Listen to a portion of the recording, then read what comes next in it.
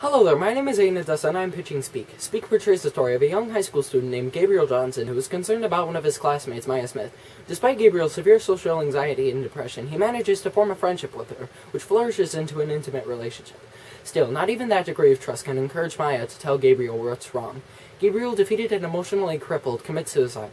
I want this story to not only display the consequences of actions, but to also remind viewers that it is just best to speak up. Hence the title. Thank you for your time. Bye-bye.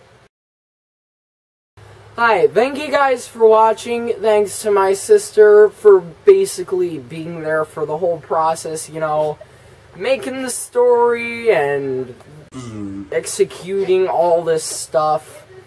Muchas gracias. Alright, so please leave a like, subscribe, the general vicinity, you know what I mean. And I'll see you guys next time. Bye-bye.